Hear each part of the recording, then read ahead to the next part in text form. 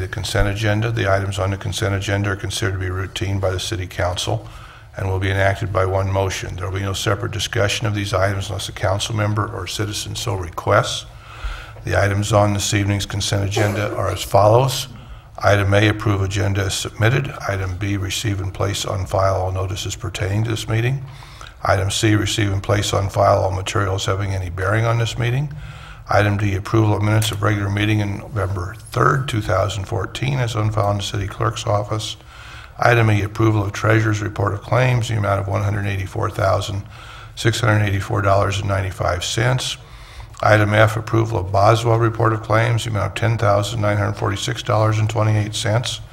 Item G, approval of change order number two, increase in the amount of $64,769.91 for a total contract price of $1,291,125.11 to Elkhorn West Construction for the library renovation project. Item H, approval of change order number one, a decrease in the amount of 22 $2,220 for a total contract price of $85,005 to Midland Contracting Incorporated for the sanitary sewer lining project 2014. Item I, resolution number 5700, executing the renewal of maintenance agreement number four with the Nebraska Department of Roads.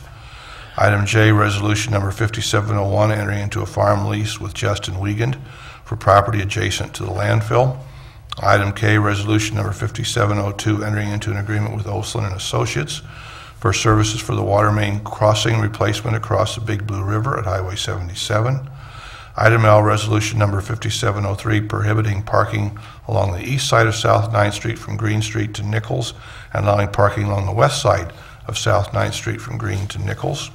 Item M, approval of manager application of Mary A. Walters in connection with the American Legion Post number 27 liquor license.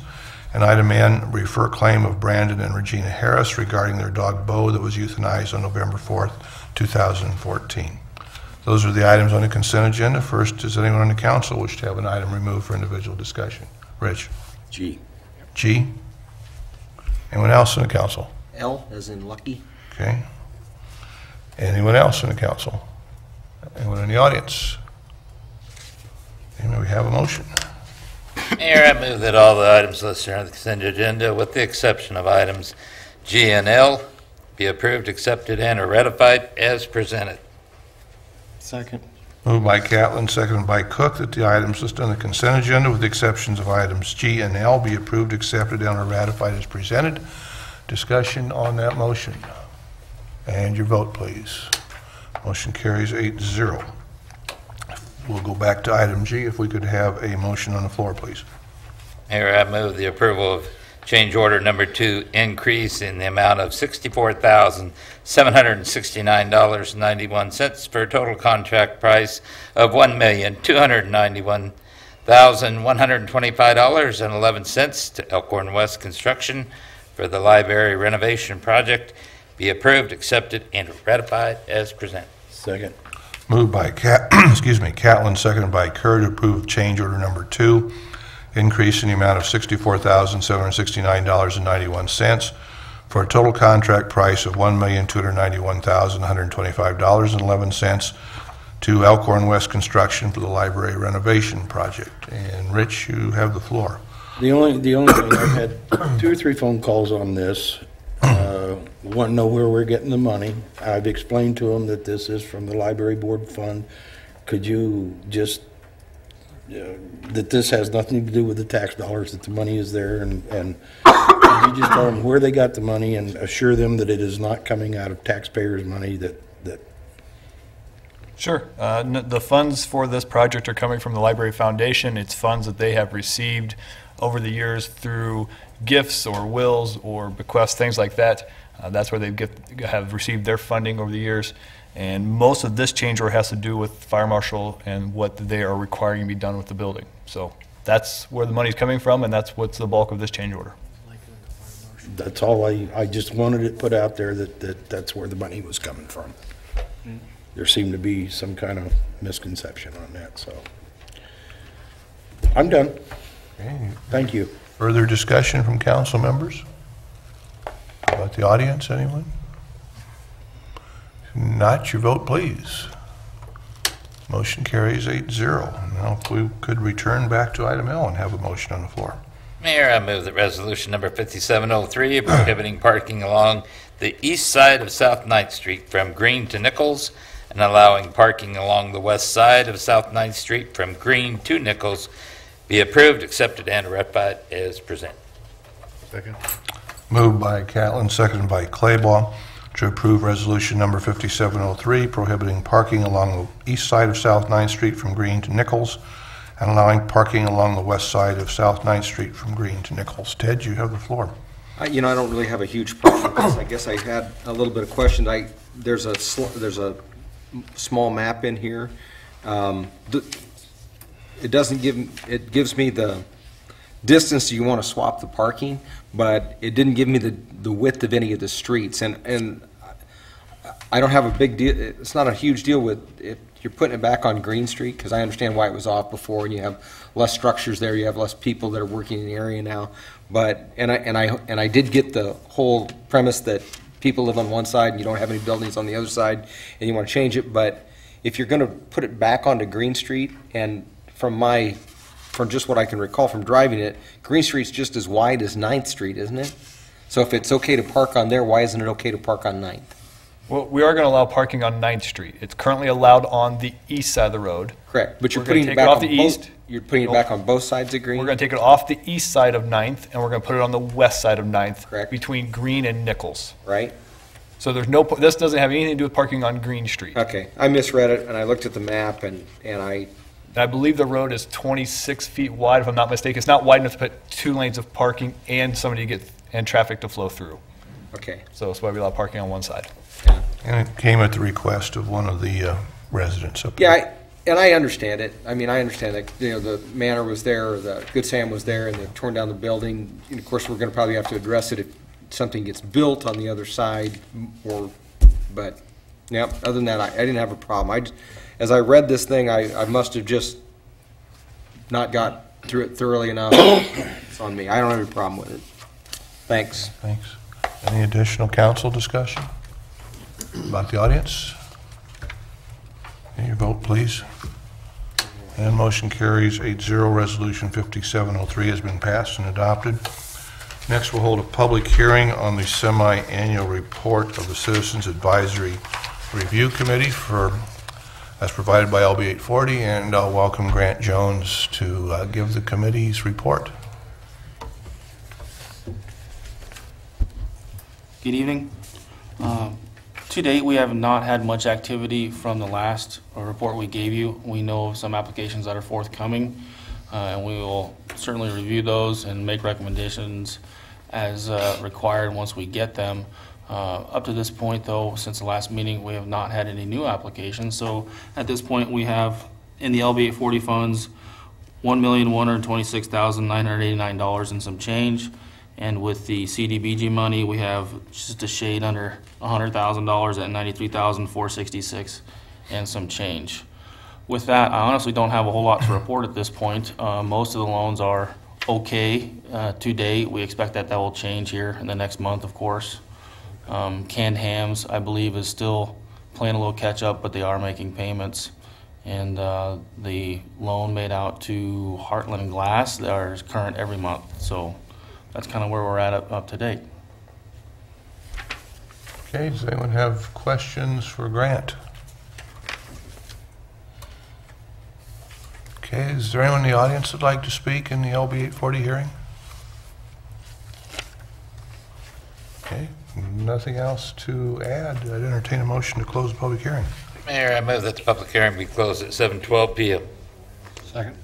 Moved by Callen, seconded by Morgan to close the public hearing at 7:12 PM. Discussion on that motion from the council, from the audience. Any vote, please. Uh, if- Why don't you hold it to the public forum, if you would, please? Okay, thanks, Grant. Thank you.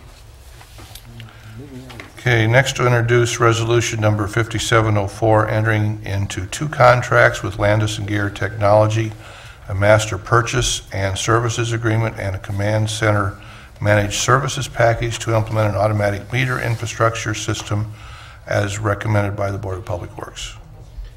Mayor, I move that resolution number 5704 be passed and adopted. Second. Moved by Catlin, seconded by Parde, that resolution number 5704 be passed and adopted. Are you doing the Board of Public Works tonight? I, I will. Uh, As you saw in your packet, the Board of Public Works met on Wednesday, and they recommended approval of entering into this agreement. And uh, Pat Feist and Steve Kelly are here to answer questions as well as we talk about this. Uh, First thing, I just want to talk to you about the history, how we got here. If you remember back when we did our budget in 2013, we started budgeting for this program. Uh, So we budgeted funds last fiscal year, this fiscal year, for the next couple fiscal years to pay for this. Um, In 2013, we hired Olsson Associates to help us write an RFP to go out and start looking at different companies. Uh, In February of this year, we received five responses, and we evaluated those five responses. We narrowed that list down to two, and from there, we went out, uh, Pat and Steve and I, we went out and visited uh, this, different locations where they had these uh, programs in, in effect and running. Um, We did those site visits in June. I know Pat did a couple additional site visits in Kansas, I believe in probably July or so, somewhere in that neighborhood is when he went down there. And then in August, we started negotiating a contract with these people. Uh, And our recommendation is obviously Landis+Gyr, as you see in the contract here before you. And I think probably the biggest thing to talk about is, uh, probably one of the questions you have is why? Well, What are the benefits? What are we going to get from this? And um, the one that's probably the largest for us is the uh, outage management. Uh, What this system will allow us to do is if we have a storm, say like we did last June, uh, this would allow uh, the electric department to be able to pull up and see which meters are out of power, which ones are not. So they know that helps them analyze where the problem's coming from, where they need to go make the repairs. Then they're able to make those and be able to tell which meters come back on. So they know if they missed a meter someplace, if someplace is still out of power. Um, Pat can probably tell you that last June, one of the issues they had was the storm came at night. And so we put power back on the people. They're trying to find out if houses had power or didn't have power. And it's kind of hard to do at night when lights weren't on and, and trying to tell if, you know, if they need to go back. The last thing we do is roll a truck back to a, a location to try to hook something back up. Um, other benefits include just the data we're able to receive from the system. Um, We'll be able to get information from meters if they're getting too much voltage, not enough voltage, if it's changing throughout the day, which lets us know if there's a problem on down the line. Uh, We'll get information about our substations, if they're having issues, uh, let us know before we have a problem, we'll be able to go out and fix them. Uh, Sometimes we have meters that disappear. Uh, This would tell us, as soon as that meter is pulled, we'll get a report that says that that meter is now missing. Um, So we know immediately. We then know if that meter gets plugged back in someplace else. Uh, We'll get that notification that the meter will tell us it's in the wrong location. And it does happen more than you think. Um, It will allow us to do automatic meter reading. I mean, that is one of the benefits of this system. Uh, We'll be able to read all the the meters electronically. Um, One place that helps us is, right now, if somebody moves out, we have to send somebody out to go read that meter. And then when somebody moves in, we have to go back out and hook that meter back up. And so we end up rolling trucks a couple times to go out and do those. With this system, we won't have to do that anymore. Uh, Obviously, if, um, um, there's also the automatic disconnect and reconnect. That's another benefit that we have. Uh, Again, if, if your power is disconnected either during office hours or after office hours, we have to roll a truck and a, and a person out to that location to hook you, to disconnect you or reconnect you. Those cost us money.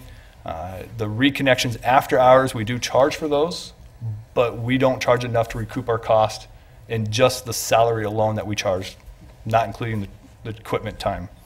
Uh, This will allow us to, to do those as well. Um, I get that. I would leave it open for questions that you guys have about the system or You know, Pat and uh, Steve, you want to come up here in case we need you to. And we'll get to you in just a little bit here. We'll start with the council, as tradition. Council, discussion items? Rick? I I think if you, if you look at it just by uh, how long it's going to take to pay this back, I spoke with Pat this morning, and uh, it, 12, 14 years or something like that. But the intangibles that we talked about make this more worth it. So would you, would you talk about some of the other things that, that uh, would benefit? Because if you just look at this, from what I understand, it used to be like 5 million when this first started, and it's down to 1.9 million now, uh, which still is a lot of money. Going to take a long time to, And it is. and Recoup that. th- This morning when you talked to me, Rick, um, I was out in my truck, so I didn't have a lot of information with me. Um, But we talked about some of the savings. One of the savings that we'll be able to do with this, that's actually, we'll be able to see monthly, is, um, right now, we control voltage uh, on our distribution system at our peak times. Uh, The lower that we can bring our peak power down, uh, the less demand charges we get from our power supplier. Um, We've, we've been running some tests. Um, They're not very efficient right now because we don't know what our voltage at the end of the line is. We don't want to lower that too much to where we're causing problems for people, but we've been able to, in our limited capacity without the information, we've been able to lower our um, peak demands about one and a half megawatts, which correlates to about seventeen to eighteen thousand dollars a month off of our um, power bill. So that's an additional savings that I didn't mention to you this morning um, on our brief conversation. But that's one of the things we can do with it. Um, There's some distribution automation, which um, is uh, automatic switching. Um, There's uh, switches that we can have out on our distribution lines um, that we would be able to control from our service center, um, which would aid us, uh, additionally aid in um, outage problems um, or isolating sections of line in case of an emergency, um, accidents, things that happen when power poles are hit. Um, So there's, there's things, there's things in that nature that, that we'll be able to do that will be able to make things a lot more efficient. Things happen a lot quicker. Tobias has touched on the, the, um, the assistance with outage management when we do have a large storm or even a small outage. If we get one or two calls, um, the first thing the guy that, the on-call guy would do would come in, pull the computer up and make sure he knows exactly where he's going and, and how many houses he needs to, to double check on when he's, when he believes he's done. So that, there's a lot of advantage to that. Um, Can I put a dollar amount to those individual things? Uh, Some of them I can't. The, the voltage control I can, and we believe we can get more savings out of that when we, when we're able to get our end-of-the-line information back to us. Um, But Tobias has touched on a lot of it. There's, um, there's some things that could come down the road possibly with um, different billing uh, structures. Um, Right now, um, uh, you get charged one, as a res, as a residence or business, there's one cost uh, regardless of the time of day. Um, There's been some discussion at the federal level that they could force us to go to time use to try to get people to be more efficient during the day. If that would happen, these meter, will be set up for that. These meters are capable of doing time of use metering. So we're not looking at doing that right now, um, but it could be something we're forced into down the road. Uh, So we're trying to be a little proactive on getting some of this stuff installed if those regulations do come through. Um, It will also allow us to read water meters. Um, Steve can get information from those. Um, The, the biggest thing initially is going to be able to be, to get our um, load data for billing, um, to be able to do disconnects, reconnects without rolling trucks and, and people all the time. And then with our, with our load management efforts, trying to reduce our, our demand charges, that's going to be, I believe that's going to be a big thing, especially with the voltage control. how about with you, Steve? Well, on the water side, basically, you know, where, where it's not nearly sophisticated as what the electric is, but it does allow us to get, uh, uh, with the right type of meters, which we're, been installing for the last three years, uh, the data from them, we can get um, low flow, uh, high flow, average flow for each hour for up to 30 days. And quite honestly, right now, I gotta go out and download that with my laptop. But that does come in handy. People say, well, we couldn't, there's no way we could use as much water. Uh, You pull that information up, okay, you have, you have a constant flow. Usually at midnight, the flows should be pretty close to zero. But if you got a constant flow from midnight till five in the morning, uh, you got something leaking. And we, we've actually gone in and found uh, leaks in in people's homes because of that already. You know, it could be a toilet, it could be a water softener, things like that. So there are some advantages, but the main thing for me is, uh, we won't have to, you know, the automatic meter reading comes in. Um, They guaranteed that we would get ninety-eight point five percent of the reads within twenty-four hours. So basically, we read the whole majority of the town in- in twenty-four hour period. And, um, it'd just be a, yeah, just, uh, a savings, you know, as far as uh, having personnel walking around throughout, throughout the community thirty days, four weeks a a month, you know.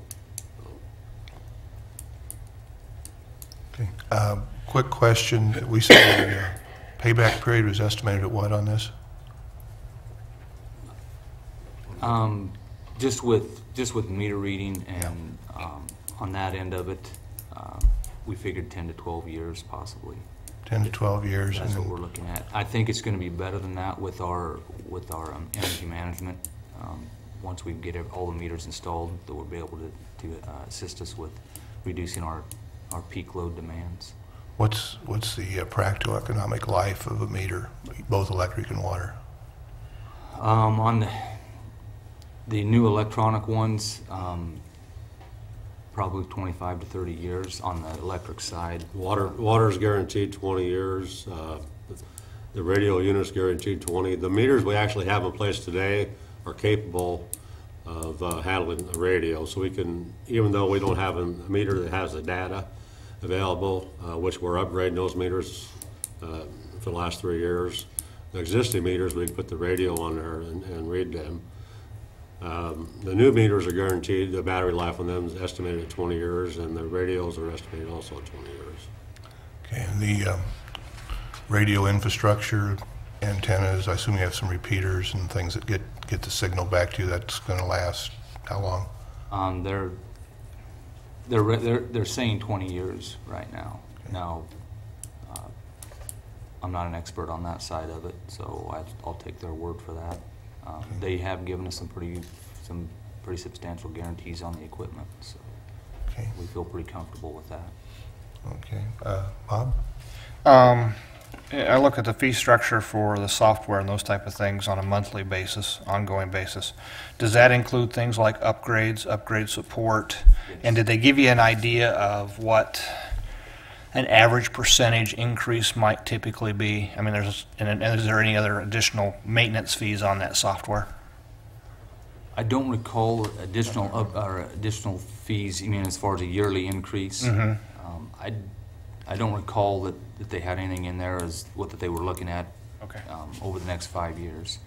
Um, But what that includes is they will store all of our data at their data center. Um, They've got a location in Kansas City.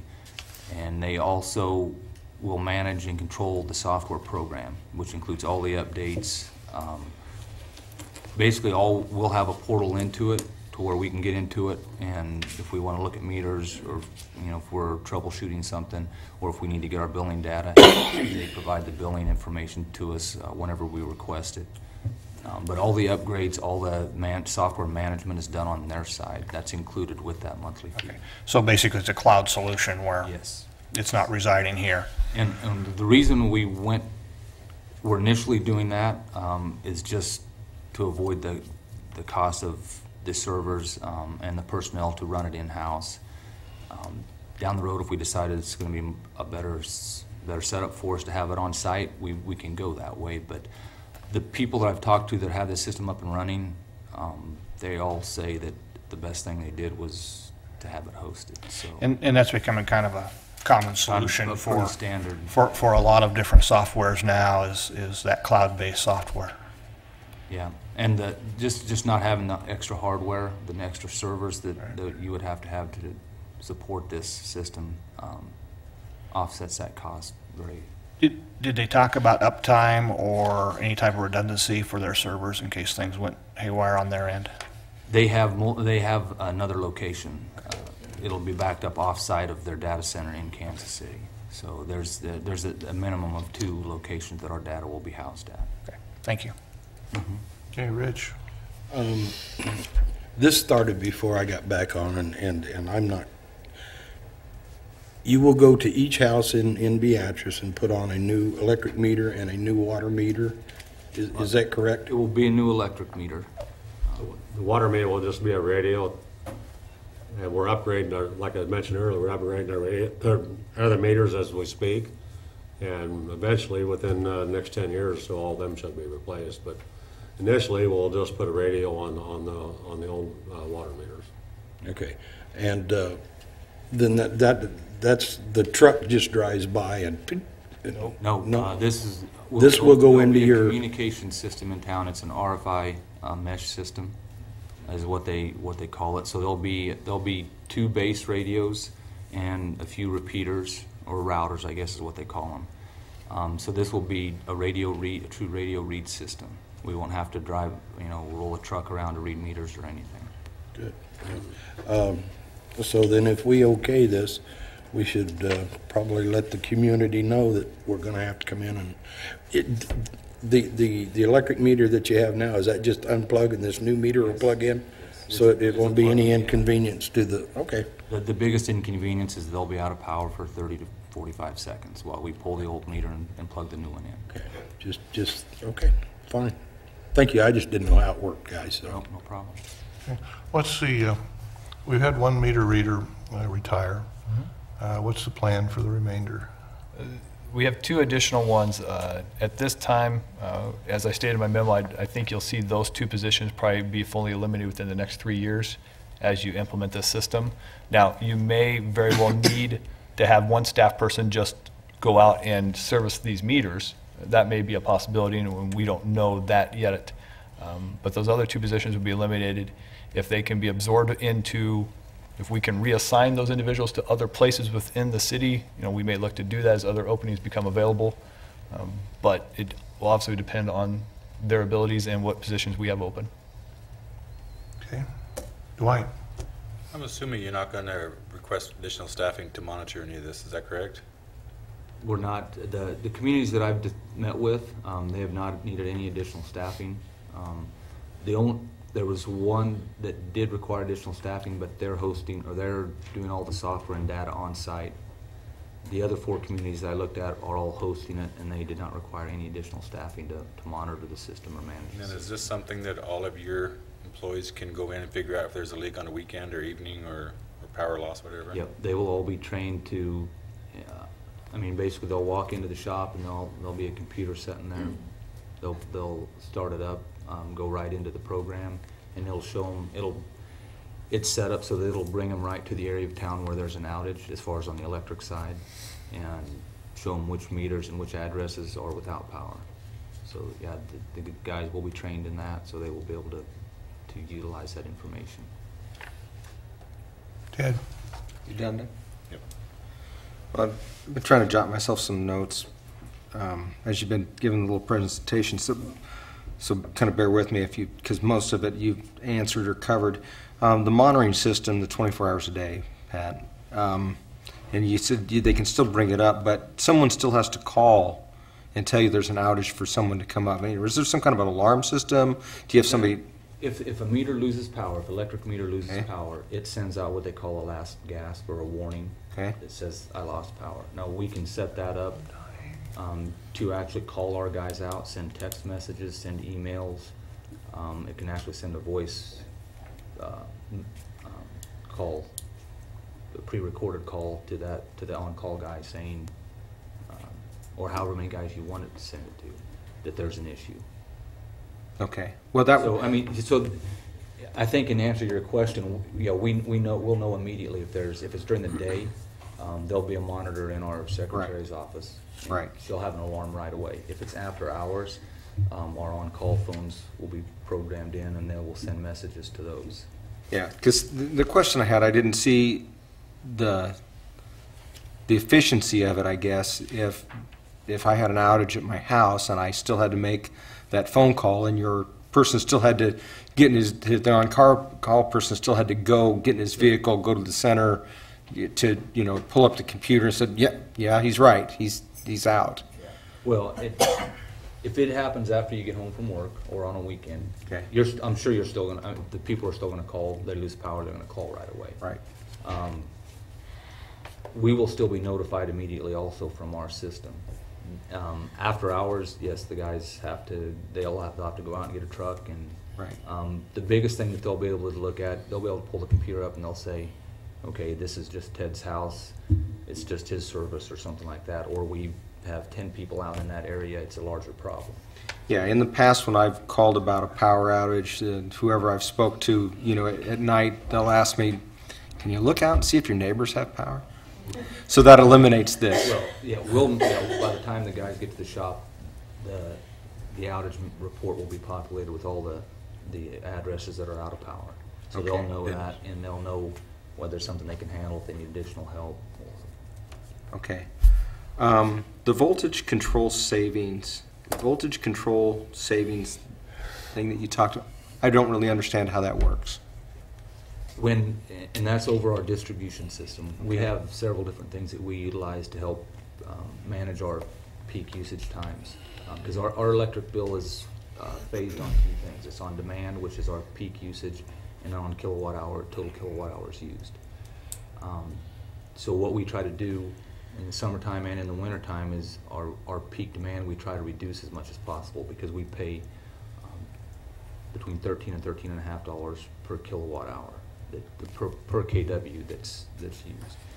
Um, This past summer and this fall, um, we feel just by lowering our distribution voltage, we've been able to save about a megawatt and a half, which is fifteen hundred, I mean, times your, times your demand charge. So we're paying at a, di- we're paying a different rate at peak usage than we are No, it's, our peak u. the- I know you're struggling to explain this to somebody that's not terribly bright, so. The way, the way NPPD looks at it are, our- I'll just take August. Okay. They, they look at our, every hour that they sell us power, and whichever is the highest hour. Uh, in August, we had a our highest bill, our highest demand was 36, I believe 36.4 megawatts. So that's what we paid our that that's what they base our demand charges. Okay. On. So if we can take that 36.4 and drop it down to 35 or 34, okay, um, it's if you can drop it down to 35, it's 1,400 times our $13 charge. So it, it, it adds up pretty quickly. Yeah, okay, now I do understand it. Okay. So, I'm sure I could have asked anybody else in the council, they would have been, explain that to me. Um, You, you talked about displacing the employee, that you guys touched on that a little bit. Um, You don't see any immediate plan to cut somebody loose? You don't, you don't see immediate, I know you had somebody retire, so you're, you're talking about just through attrition, we have not, we have not replaced that gentleman, and I believe the plan is to. Plans not to replace that position, and I don't think it'll happen through attrition, uh, because year one, we're gonna put in the communication system and a thousand meters. We still have to go out and read all the other meters in town, the other roughly four thousand meters. Year two, you put in some more meters, but year three, you put, you finish putting all the meters in. So until they're all complete, you're still gonna have to have somebody go out and read some meters. Okay, well, that, I have that as a question. You touched on the servicing the meters. Is this a different level of expertise to service these types of meters, both what Steve has and what you have? There will be some additional training for, I mean, we have several technicians on staff in the electric department now Okay. that do all of our metering, meter testing. Um, Our test equipment that works on the old style meter- meters will still work on the new ones. Uh, We can test them for accuracy if there's a question on that. Um, We can, we'll be able to test the communication module in it uh, if there's, for some reason, we stop communicating with a certain meter. Um, All that training is included with this uh, package price. Okay. The off-site system, the off-site, so basically the brains of it. Storage, sure. Okay. So is there anything that, is there, is there any way that there's a manual override or something? I mean, off-site works really well as long as that site's still working. I mean, do we have, are you, are you completely reliant on the off-site? Well, um, as uh, Bob had asked, there, they, they have, they back all their stuff up to another site. Am- Right. am I- Are you asking a separate question than that? No, no, I, I, I- I get that, but um, if you have a failure off-site, and I understand that they have, and because our computer system, work, Right. you know, we have One's in Atlanta and one's in Paramus, New Jersey, okay? So, but my question is, is that if you have a failure off-site, if there's a critical failure off-site, do you still have some type of way to manually manipulate it from this locale? Or do you know? Believe we would not, the way that it's gonna be set up, the way that's being set up. Um, From my understanding on the data centers, though, that they have so much redundancy with the number of servers that they have. um, If, I believe a catastrophic would probably have to be a tornado or something that takes the whole building out. Yeah. Um, From my understanding, if they lose one server, everything's redundant enough that it, it switches over and you're still up and running. Okay. Um, I'm not an expert on that, but that's well, that's the information I've been given. I think that's all I got right now. Okay, I can jump in here again. You know, it's my last meeting, I can, I can do that. I'll defer. I'll get to you fellas here just a little bit. Uh, How prevalent is this technology in the, uh, in the region? How many utilities uh, have that? Uh, Norris, Nebraska Public Power, any of the locals Um, around? I know Norris is looking at it. Um, I don't know how in-depth they are at this same system. Um, Grand Island is installing the same system we're looking at. Sidney, Nebraska is installing the same system. Um, the two places that I, I looked at in Kansas were um, Dodge City and Liberal. Um, they're both fully deployed. Um, they have been, Dodge City's been fully deployed for several years. Um, Minden I- has another, not, not the meters that we're using, not the same company, but Minden has another similar system. With a different company. South Sioux City, were they another one? South Sioux City has another one. It's, it's, it's not the same company we're looking at. But, and I, but I do know the company that we're looking at has, um, when I met with them last, they had nine systems going in in their area, which is, um, Nebraska, Kansas, and Iowa. So, And if you want locally, Auburn has an older version of the system. It's, it doesn't have all the things that we can do with ours, but they have an older version that they put in, oh, a number of years ago. Any, any of them talk to you about their, their payback period? Is, does it get shorter with the only larger one that- utility? The only one that would talk to me about it was Liberal, and they said their payback is, has been faster than what they anticipated. They they didn't quantify? They didn't go into details on it. They, they a larger utility or smaller than us? Um, actually, their, their city's about the same size as Beatrice, a little bit smaller, but they have a lot of rural and a lot of small towns Okay, around there. So their, the, the actual population that they're serving is larger than Beatrice. okay. Well, you're, you're out 10 to 12 years to break even, which, you know, in, in the business world puts you out there a ways. Do you have any other projects with a quicker payback that you can think of doing right now, or is this the project that's, that's out there? And that's Asking for your qualitative judgment on it. Not that I'm aware of right now, not that we've looked into. Okay. Um, There's, I mean, we're always looking at things to improve the system with short pay, as short as payback as possible. Um, We try to do our due diligence and not jump into anything lightly. So we, this, this particular system here, this, uh, the AMI system, we've looked at probably three times over the last eight years. Uh, The initial time costs were over twice as high, and it was a f- extremely new, new technology. Um, was something we wanted to jump into, and we feel, we feel it's the right time for us now. Okay. All right, we'll go down the line. First, Rich. Mine was answered uh, Okay. with Ted's. Rick. Well, I was just wondering, the, the fifteen thousand a year support, is, I was trying to look through here, is that fifteen thousand for the eternity here? It di- didn't look like there was a certain number of years that was gonna be, is that clarified? I didn't see it anywhere in here. I don't know that it's, it's set out how much it'll be every year thereafter. Uh, That has to do with how many endpoints you have. So if we add other additional that meters, last that price goes up. Um, But I believe that the hosting number was uh, fairly constant. I mean, I'm sure that it has some escalators in there, but It didn't within the The initial big- term. The biggest thing they told me that would, would uh, change that number was if we started adding a lot of endpoints, which an endpoint is an electric meter, a water meter, or um, a piece of equipment, one of our substations that we would communicate with and store data on.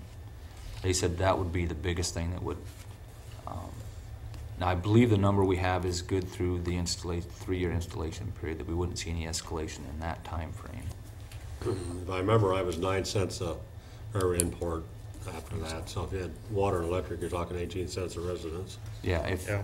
that's, that's what they gave us if we were adding additional endpo- endpoints, was nine cents per endpoint. Okay, Bob.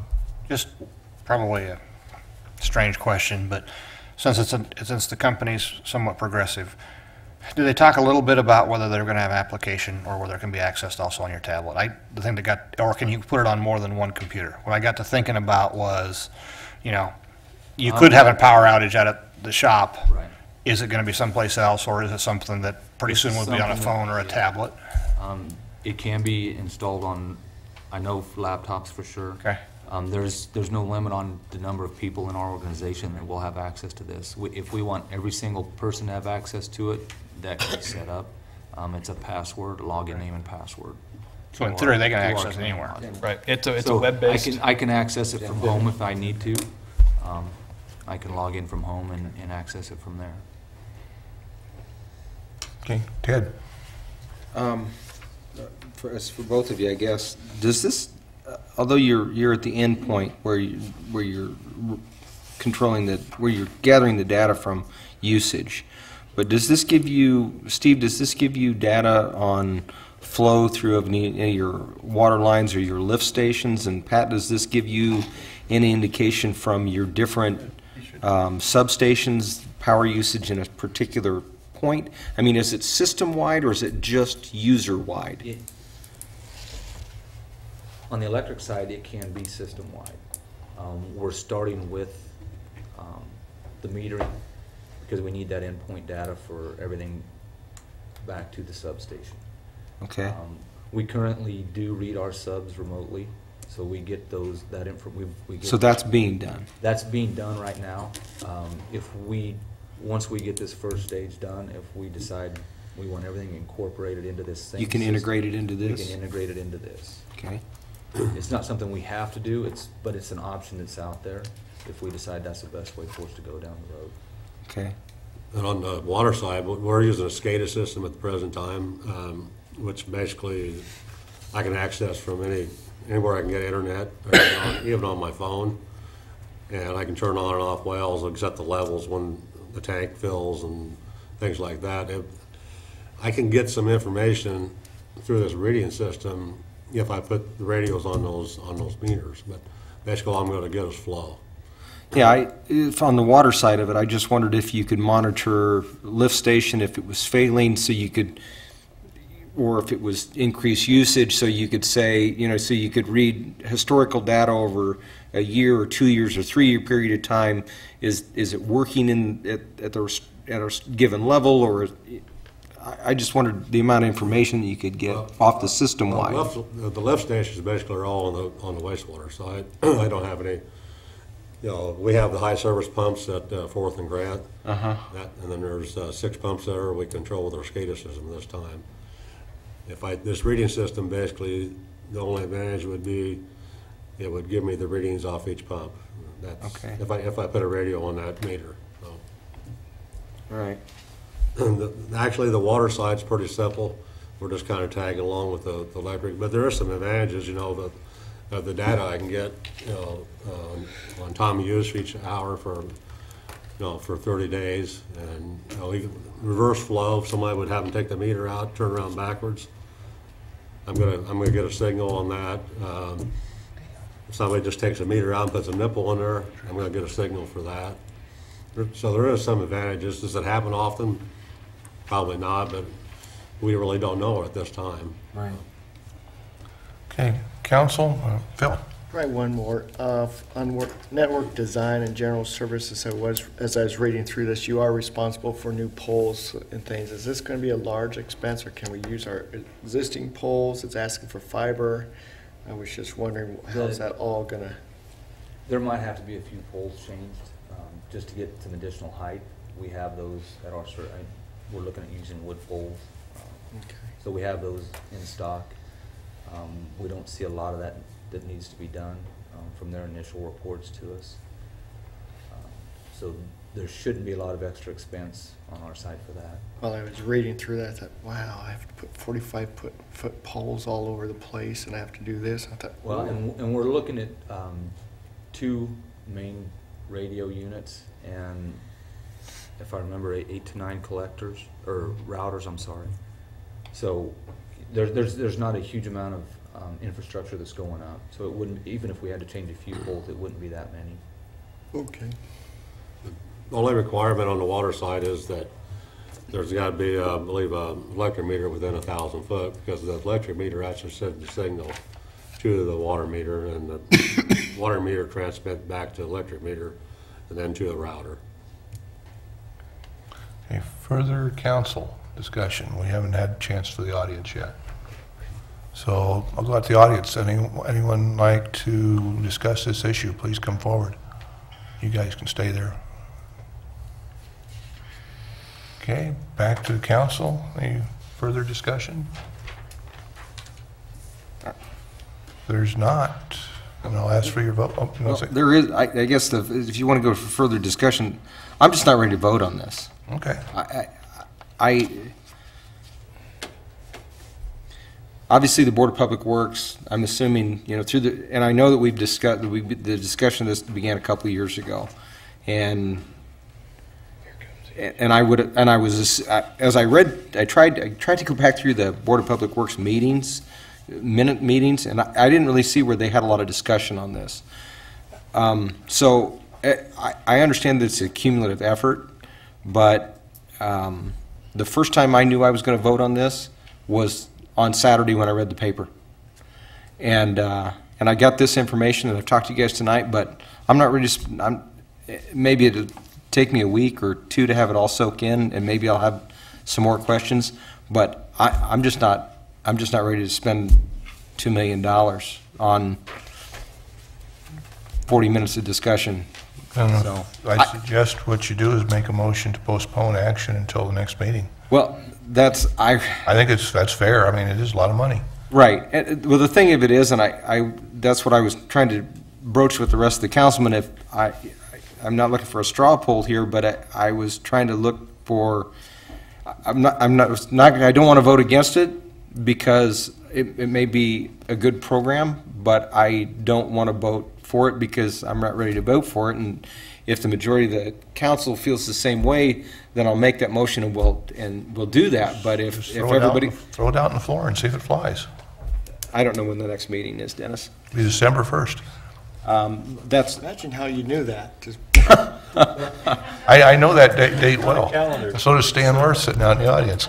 well, that, that is what I'd like to do. I'd like to make a motion to postpone uh, this vote until the first council meeting, December, December 1st. If you want to put it off, I don't. Okay, it's been moved by Fairbanks and second by Parde, excuse me, to postpone action on resolution number 5704 until the next council meeting. Now we can discuss the wisdom of postponing discussion if you'd like. Bob? Does that cause any problems with what you guys have worked up at this point? I believe the numbers are solid. There's no, I mean, we don't have a deadline we're working up against as far as the quotes that we received, so if, if that's, if you guys would like some more time, um, to talk to us or whatever, that'd be, that's fine. Okay. Thank you. I, I did talk to a couple Board of Public Works members, and, and uh, they didn't really have a lot of discussion on it. They'd been working on it for so long that they really didn't have a lot of discussion, I guess. So, Okay. and I have no problem if you want to postpone it for a while. I don't think I, these I'm not need it. saying that it's going to change my vote in two weeks, but I, it's just a lot of information to soak in in 45 minutes, so. And I, as like I said, during your presentation, I, I wrote down some questions, and I, and I appreciate, and you've answered them all well. I, I just, in, in years past, when something like this has happened, and I know, Pat, you've done your work with like Liberal and, and Dodge City, but I've, I've usually emailed or called someone on their council and said, in the communities that we've used as comparisons, and I, I've called their public, you know, my counterpart in, in that community, or emailed them or called them and said, really, what do you think? And Before I've voted to spend this kind of money, and I want that opportunity again, that's all. Okay. Uh, if No other discussion. Your vote on postponement, please. The motion carries eight zero. Okay, So We we will will, bring this back December 1st. it'll be on your agenda. Road up there. If I may, if there, if you do have questions, if you come up with other things between now and then, don't hesitate to let me know, and that way we can make sure we get you answers so you are fully informed and ready to make that decision. Yeah. It's just a lot of money. Okay, next up, um, I'll introduce resolution number 5705, entering into an agreement with the Muscatine Lighting Company for lighting at Hannibal Park. Mayor, I move that resolution number 5705 be passed and adopted. Moved by Catlin, seconded by Claybaugh, that resolution 5705 be passed and adopted. I think we might need Mark and Pat. Mark and Pat, but Pat may have absconded already. No, he's there. He said, why don't you guys come up too, and Tobias can start to kick off the, kick off the uh, discussion. Sure. A- As you saw in your packet, uh, the lights out at Hannibal Park are the ones that we're looking at replacing. They were originally installed back in about 1978, and they're at the end of their useful life. 78 is what I've been told. You're I wasn't, I don't know, I don't remember them being put in. 83, because I designed them, okay? I, I'm not arguing with you, I believe you. But they're at the end of their useful life and need to be replaced. And what we originally budgeted for was to go out and replace the lights on one of the fields out there. And as we got going down and looking at what systems were available and, and the cost, Musco came to us and said they were proposing that they could do three of the fields as you saw, for $310,000. They would finance over five years, but the biggest um, attribute there was they would offer a 25-year warranty. So in 25 years, Pat's guys don't have to go out and touch the lights, other than the change of fuse, which Musco will provide to us. Uh, They'll come out and they'll re-lamp them after a certain number of hours. If light bulbs burn out, they'll come down, they'll replace them, uh, and they'll take care of everything. And so when looking at it, knowing that we have to replace the other two fields, because they're also circa 1983, uh, that we need to replace those as well, we thought, why not look to do it all at once, rather than tearing the field up three times over the next couple of years? And when we can do it at one time, we can do it cheaper this way, and we also get the 25 years warranty with them. So that's the proposal you have in front of you, and these gentlemen can speak to the, the details of what's out there and what's going to be done. Lay it on us. Well, over the last probably four or five years, we've had some issues with outages. We've had um, bad wiring, um, some ballast work that needs to be done. I know Pat's guys have been out there right before, oh, two years ago, before district softball, um, redid a bunch of underground. Um, We had a transformer blow last year. Um, Just seems like the last three or four years, we've had issues upon issues upon issues. And so that's why we went to them. Oh, it's been, I think when Neil was here, we looked at doing it. And we started kind of the process looking into doing it. And now we're here and this is the 15 budget that we had a budget 120,000 in Pat's budget. And so Musco came to us and said, well, we're going to do one field and it was like 135. And so they came up with a proposal to do all three for 317, somewhere around there. Um, So this is kind of where we're at, bringing it to you guys to do all three fields. Okay, Rich? Um, Do the ball teams still pay a, a- a fee to use those lights and stuff? No, there is no fees. Um, But they do donate back to the facility. I mean, like the girls softball two years ago gave us twelve thousand dollars for improvements. Um, Every year, they supply their own agri line, they do a lot of their own sprinkler repairs. Um, Just, they do a lot of maintenance out there, um, painting, just doing odds and ends, so. The five years that, that, uh, that- that, that's a seven, uh, seventy-one thousand four hundred and eighty-eight, excuse me, four hundred dollars and eighty-eight cents for five years. Uh, What's the interest they're gonna charge us on that? 3.95. Three point nine five. That's all I got, Dennis. Okay. Ted? Pat, so each of the fields, they can still be, they still manually operated individually? You use one, you use one field more than the others? Yes. Yeah, if you only needed one field that night. Right. And just needed to turn that one bank of lights on, yeah, it, you just turn on what you need.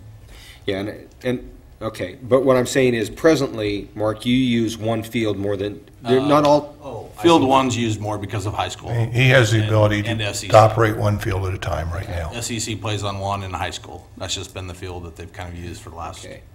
And just a little info, it, I know it was 83. I lived on Ella then as when, and my wife and I moved back here 80, in 83 and before all the trees grew up.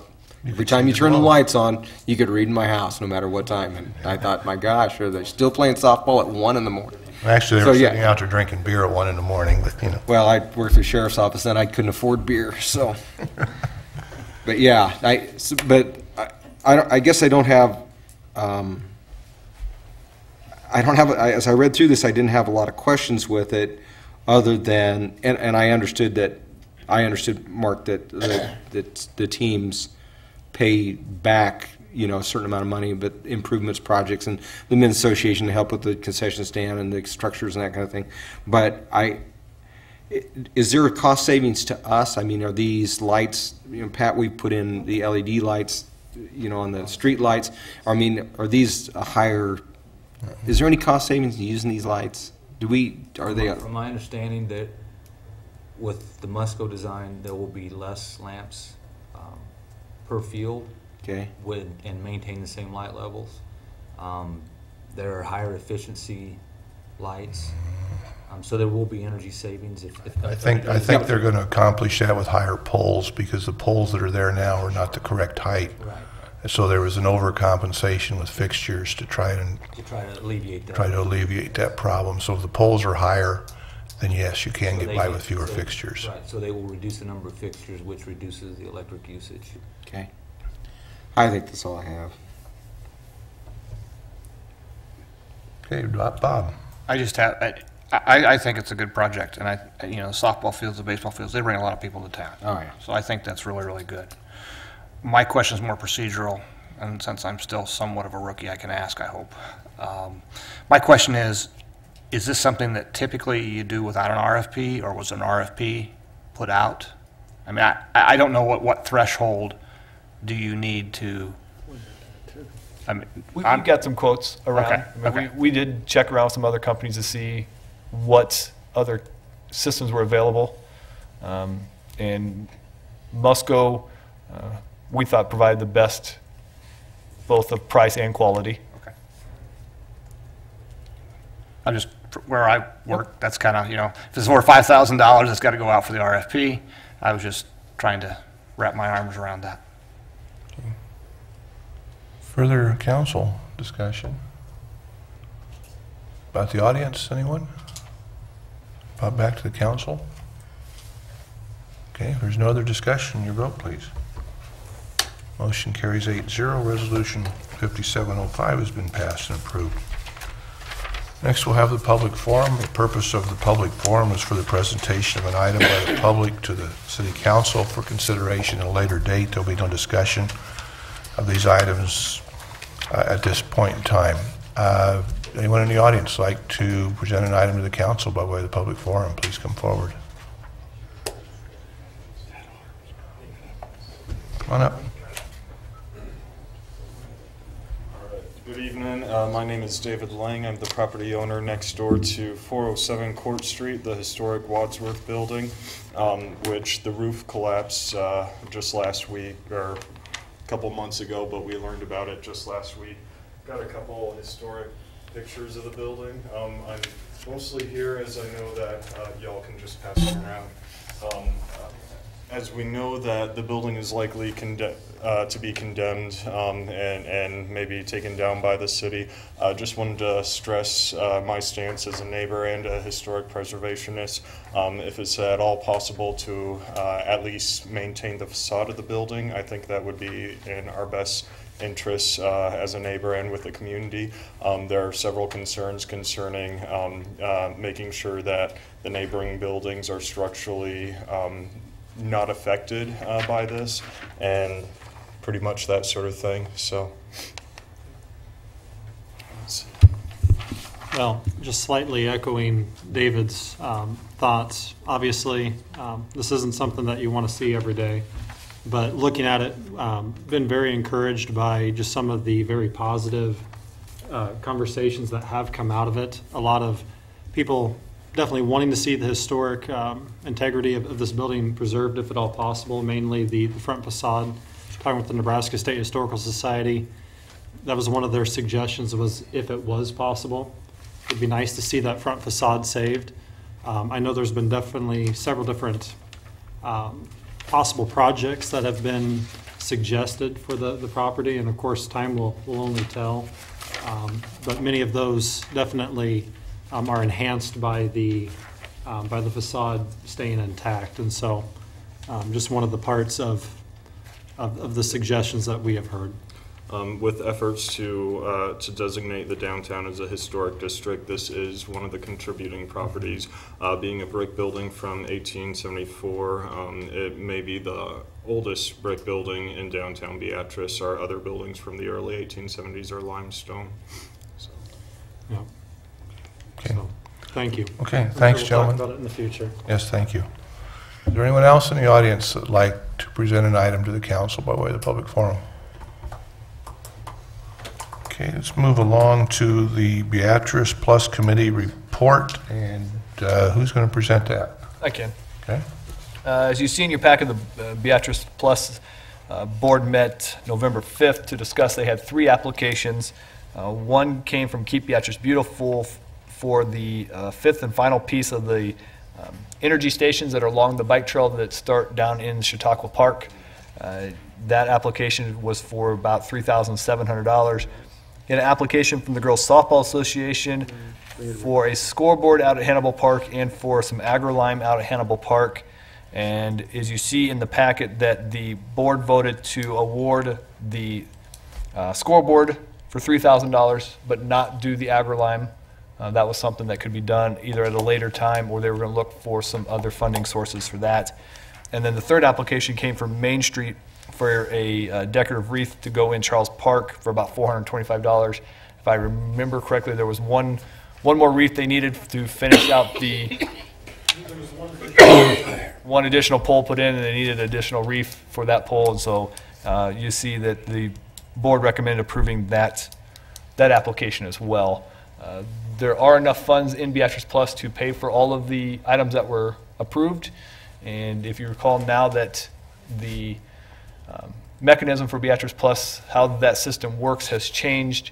Uh, The dollar amounts rolling in, I believe in the first two weeks were almost equivalent to what had rolled in the previous fiscal year. So, Where, where did the funding come from the other, I, I know we, I- the other uh, exercise equipment? Was that all, was some of that, was that Keno, was that general fund? It all came from us, didn't it? no. um, One came from, I believe one came from Beatrice Plus, and I believe the other ones came from, she had acquired a grant through Lowell's, Those, I think, yeah. Yeah, Norris Roundup and some of those, so they, she got some funding from some other sources. okay. And this is, this is the last wreath you have? I mean, you're not, Yeah, yeah, I mean, that's, that, there, there will end up getting all the historic lighting that's there in Charles Park will now, um, have those, and they should last for quite some time. yeah. Yeah, I, on a personal level, I don't have any problem with, uh, with these expenditures.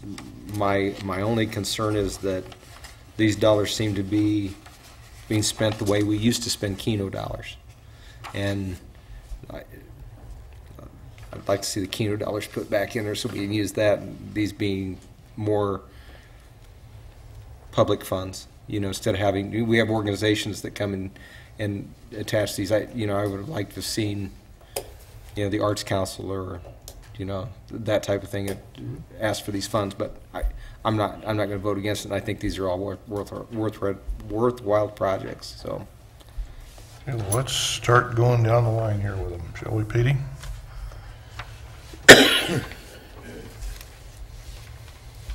I'm sorry. Let's Ready? start rolling, shall we? Okay. Mayor, I move that the application Beatrice Plus funds from Keep Beatrice Beautiful for the purchase and installation of the last Play World Systems Energy Station Number Five in the amount of three thousand seven hundred and five dollars as recommended by the Beatrice Plus Committee be approved. Second. Moved by Catlin, seconded by Morgan, that the application for Beatrice Plus funds from Keep Beatrice Beautiful for the purchase and installation of the last Playworld Systems, Play World Systems Energy Station Number Five in the amount of $3,705 as recommended by the Beatrice Plus Committee be approved. Discussion on the motion. Do I need to abstain from that one? Not necessarily. You're on their board, I'm correct? on their board. Yes. Okay. I'll abstain then. And any council discussion? Audience discussion? Your vote, please. Motion carries seven zero one. Next up. Mayor, I move that the application for Beatrice Plus funds from the Beatrice Girls Softball Association to purchase a scoreboard for Diamond Number One at Hannibal Park in the amount of $3,000, as recommended by the Beatrice Plus Committee, be approved. Second. Moved by Catlin, seconded by Cook, that the application for Beatrice Plus funds from the Beatrice Girls Softball Association to purchase a scoreboard for Diamond Number One at Hannibal Park in the amount of $3,000, as recommended by the Beatrice Plus Committee, be approved. Discussion from council members. Dwight? Any plans for advertising on it or sponsors or anything?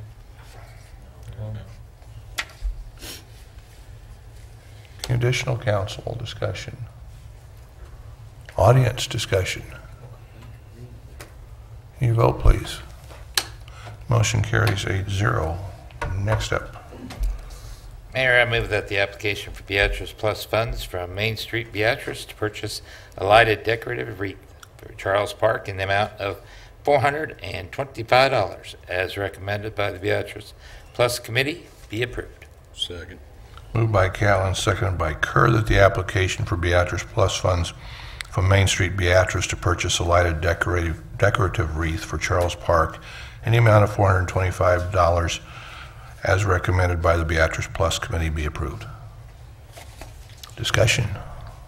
Dwight? Question for Michael. Will this be a matching wreath to all the rest of them or something different? It's the identical to, to everything else that we have, so. Further council discussion. They're not ugly like the ones we got downtown, are No, It's matching to they're beautiful. They look natural. Those ones downtown are ugly. Power picked them out and they're ugly. He's They always have been. He's listening.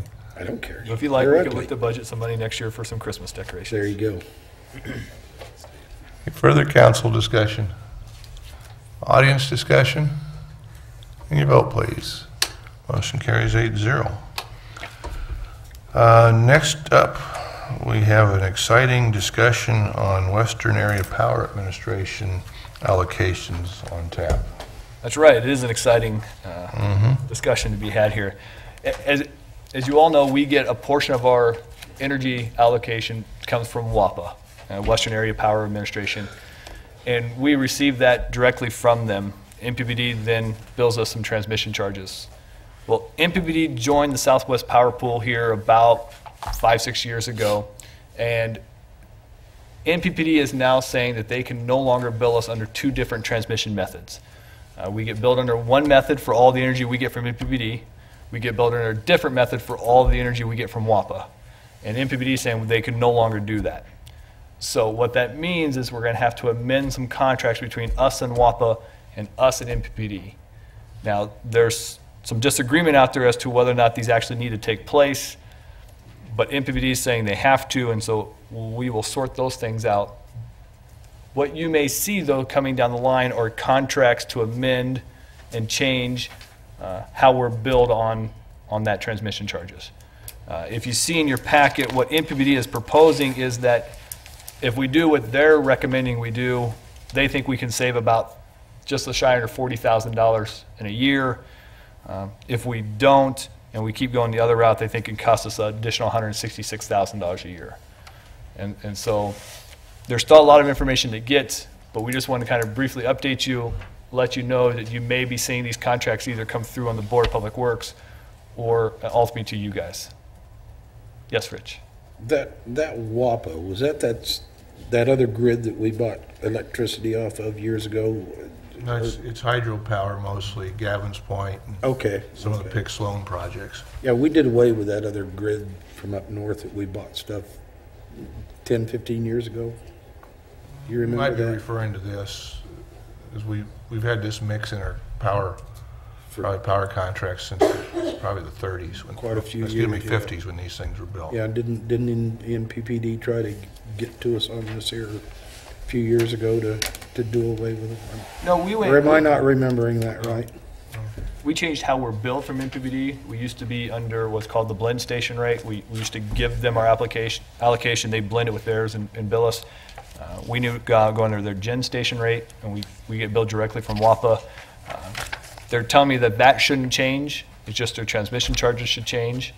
Uh, But again, we just want to kind of update you that you may be seeing some contracts come through here in the next, they want it done by the end of the year. I don't see that happening, so just to kind of give you an update. But we will still be using some of the WAPA stuff? Absolutely. Okay. Yes, that will not change. Any questions, discussion? Any council members? How about in the audience, anyone?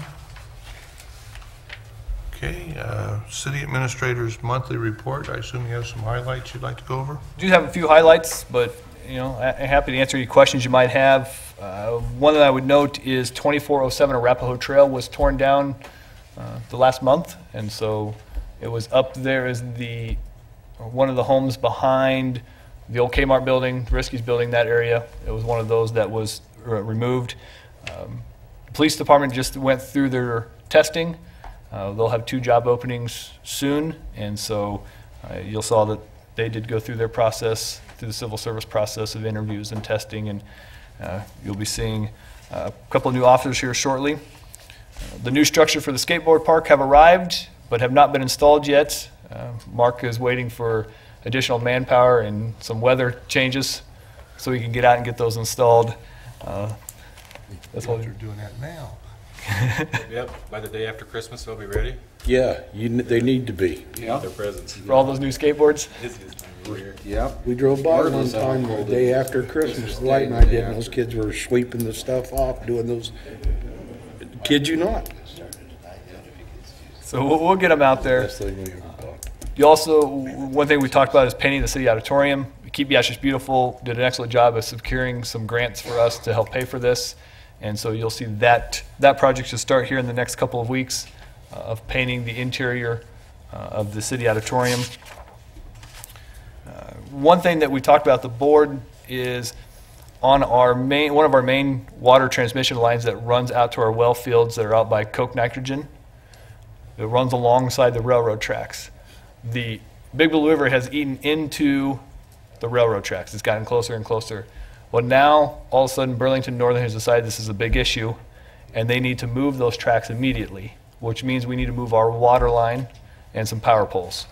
And if any of you have dealt with a railroad in the past, you know they don't move quickly, but this time they decided they need to have this thing moved immediately. And so this was obviously not a budgeted item. Uh, We initially put a cost estimate of about $80,000 to move the water line alone. With James and Steve, we've been able to work on that number. We think we can get it whittled down to about $50,000 of what it will cost for us to move it. Uh, The, the railroad has talked to their contractor, and they came in with a price of $250,000 to move it. And so I told them that either we'll move it or we'll pay you $50,000. We're not paying your contractor the additional 200,000. I'm waiting to hear back from the railroad as to whether they want us to do the work or they're going to have their contractor do it and accept our contribution of 50,000. So You talking to somebody in Fort Worth, or you talking to somebody in Lincoln? I am talking to somebody in California. Okay. And so we're, we're working through that one right now. In addition, uh, Pat's going to have some power poles he's going to have to move as well. We are also securing the necessary easements that we need because currently we're on the railroad's right of way. They want us off of that. So we have to secure additional easements then to, on the landowner's property to the south. And so we are working on that as well. You- What? What are, the- what's, He's actually helping. what are they doing to stop the erosion? I mean, have you talked to, I don't know what their plans are. Uh, Supposedly, the, because it seems to me like if this is a problem now, it's gonna be a problem again in fifteen years. it'll, it'll continue to be a problem there. It'll also be a problem about another 50 yards down the railroad tracks where it's also eating in another location. But the railroad didn't seem to care up until about three weeks ago. Yeah, you, Yeah. So, But on the plus side, uh, there probably was a time when the railroad walked away from that line and said, forget it. They, Right. they are gonna do something about it, which, I thought you were gonna say on the plus side, it's not gonna happen until in December. no, no. No, not that, but no, that, I mean, seri- there's Yeah. been serious No, I- discussion. yeah, I- that and I get A that. big problem, and that, that line could go away, so Right. they're, they're willing to And it's invest still in it, which is usable. good. Yeah. Keeps some rail service here. to update you on the welcome signs, uh, Carol Schuster is working on the welcome signs. She's working with uh, Radigan Schottler. They are donating some time to work out the design details and size and, and some of those things that they need to have done. Since Radigan is donating his time, you know, as, as we all know, those projects don't always move the fastest. Uh, but he is very grateful to do that. We are probably looking at sometime about May or June before design is finalized, uh, it's scaled, it, it's ready to roll out and start construction. You're probably looking at sometime in that time frame. So, just to update you on that one, I know that's one that's hanging out there. Um, to think. Other than that, that was probably all the highlights that I had. Your code enforcement officer, is he gonna get his own section in this eventually? Or is he always gonna remain under the building inspection? Although I've read his little piece, I was, I'd be a lot more interested in what he's dealing with. We certainly can have him add more in there. Uh, The long-term plan is for him to grow into that building inspector position. Right. And then he'd obviously would take over that whole section. Okay? So, Well, I, more information. okay. Was your, was the thing that they tore down on West Court, um, at the corner, in the nine hundred block West Court, that they did last week, was that on the list of stuff to be torn down? West Court Street. Oh, yeah. West Court and the Fairgrounds Road. Somebody got a house up there, tore one down. Yeah. Uh, I think that was done by the private owner. Okay, that wasn't on your. That wasn't anything that we, Well, I, I, and I knew it was private, somebody else doing it, but I wondered if that was something that we nudged. I don't know that we encouraged them. I don't think so. Looks way better. I'm, Do I- go ahead. Go ahead. I'm, uh, I'm done. You met with Big Rivers in person? Yes, I met with Big Rivers in person. They were up here for a conference somewhere in the area and stopped by and I spoke with them. They were up, they've obviously got a client up in northeast Nebraska. Uh, They've talked to a few other municipalities on their way through. So, yes, we are talking to a number of other possible wholesale providers. Speaking of your code enforcement officer, um, have them and our engineer been able to get into that uh, um, fire ransacked house? uh, On Ella Street? I believe they are currently working on that one. Uh, I believe one of the hangers right now is, is or is not the fire marshal still investigating or not investigating? And I believe Mr. Butcher is working to resolve that issue right now. And I do apologize, I was going to ask you about that Butch Friday when I was down there and I just forgot. But uh, that needs to come down. It's an eyesore and it is also a uh, detriment to the, uh, to the neighborhood. Okay, any further questions for Tobias? If not, uh, work session is next week here at 7 o'clock, and regular council meeting is December 1st at 7. If there's no other business, I'd entertain a motion to adjourn. Mayor, I move that the meeting be adjourned at 8:21 PM. Second. Moved by Catlin, seconded by Kerr to adjourn at